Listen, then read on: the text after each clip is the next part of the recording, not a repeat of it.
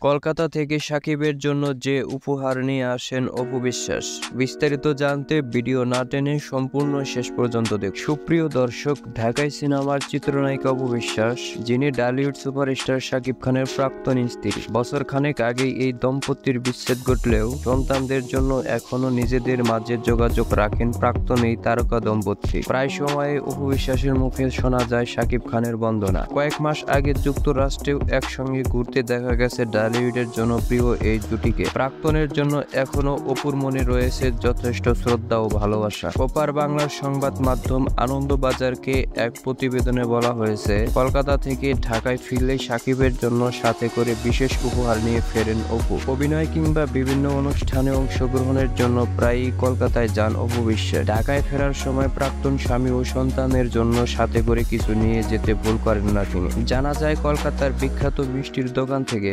সাকিবের জন্য নলেন গুড়ের সন্দেশ নিয়ে যান অপু বিশ্বাস। সাথে নেয় নায়কের প্রিয় কাজু বরফি। শেষবার যখন তিনি কলকাতায় এসেছিলেন, তখন প্রায় পাঁচ হাজার টাকার মিষ্টি কিনে নিয়ে গিয়েছিলেন অপু। সেখানে ছিল ছেলের পছন্দের শাক সন্দেশ। এগুলো অপু সংগ্রহ করেছিল হাওড়ার একটি মিষ্টির দোকান থেকে। এমনই মন্তব্য করেন সেই সাক্ষাৎকারে অপু বিশ্বাস। তো সুপ্রিয় দর্শক, সাকিব খান এখন অপু বিশ্বাসের উপহার গ্রহণ করে। অপু বিশ্বাসের এমন মন্তব্য আপনার কাছে কি মনে হচ্ছে জানিয়ে দিন ভিডিওর কমেন্ট বক্সে ধন্যবাদ পুরো ভিডিওটি উপভোগ করার জন্য।